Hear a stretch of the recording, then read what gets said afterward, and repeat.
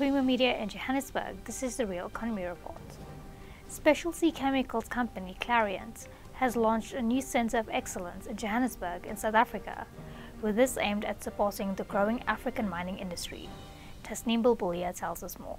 Clariant Sub-Saharan Africa head Dries Lategan indicated that the new center would enable Clariant to provide tailored chemical filtration and separation solutions for mining companies in the region. The facility will serve as a regional hub for mining operators in Africa, serving mines in South Africa, Sub Saharan Africa, the rest of Africa, and even beyond the continent if needed. Lategan explains the rationale behind opening the center as well as the benefits it will engender. Traditionally, we, we were most of the support and the technical basis we came from Europe. Uh, we had people stationed in Southern Africa, but the support and all the product, development happened in Germany specifically. Uh, we took a stance last year to say we want to have it local. We want to develop these products locally. We want to have local technical expertise, uh, people working for us to support our customers on a local basis. Obviously, that gives us advantages to make it more customer specific. Our products is really tailor-made for each application on the customer side, and it is um, faster. It's much quicker to develop a solution for a customer if you have your center of excellence in Southern Africa. It further makes sense because the sulfuric ore deposits is here. It's not in Europe anymore. So we want to, to have the expertise locally. Lategan outlines the new Center of Excellence. We basically have a um, full laboratory setup to test our the application of our products, develop these products. We will start with um, ore samples coming from various customers that's taken in a representative manner to represent the ore body or the stream uh, that the customer is treating. We will then crush those ore bodies down to exactly the same, to simulate the process as the customer is doing. We will mill it to exactly the same specifications and then we will start doing the froth flotation test work tailor make our products using the chemistries available from Clariant Global R&D centers, but we will tailor those products to make sure we give the customer exactly what they want. Some customers might have challenges in their operations, they might have challenges with their tailings operations. Global economy might change where something like nickel is now more buyer valued or uh, they want to recover more gold in a copper process for argument's sake.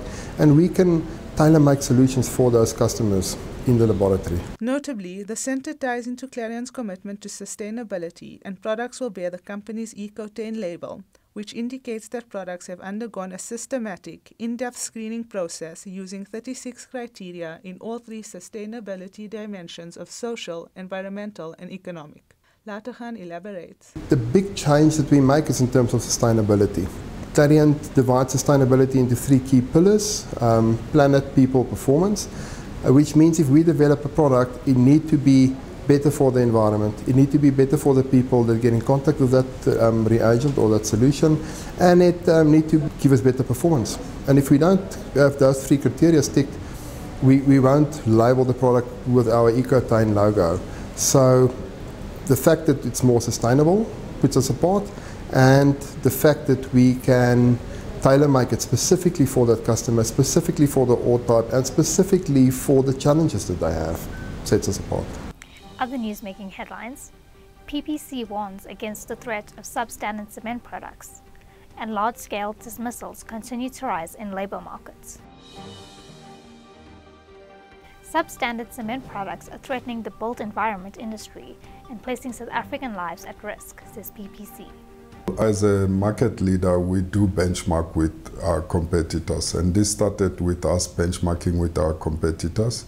But then as we get the results from our own lab, we realized that there is actually quite a lot of uh, results that were really shocking, uh, to say the least. And we decided, no, we're going to do a very detailed survey of that.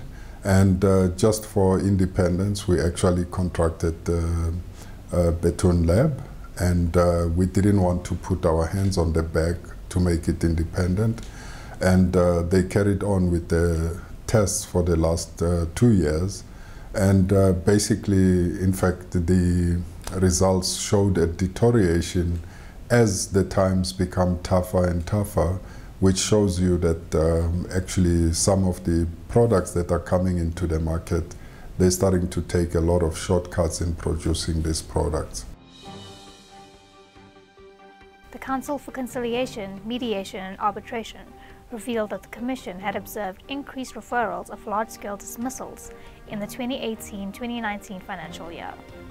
As we receive these disputes, we must be able to zoom in and see which area is more problematic in terms of the cases referred. So I can confirm to you that the business and professional sector remained the highest referring sector, uh, sitting at 27%, and followed uh, closely by the security sector, uh, which comes second highest, accounting for 12%, and then followed by the retail sector, which is sitting at 11%. Now, our projection for 2019 and 2020 is that this caseload that I've just presented, it is projected to increase by 25%. This is due to the new jurisdiction that I alluded to relating to the national minimum wage and the basic conditions of employment. That's Creamer Media's Real Economy Report. Join us again next week for more news and insights into South Africa's real economy. And don't forget to listen to the audio version of our Engineering News daily email newsletter.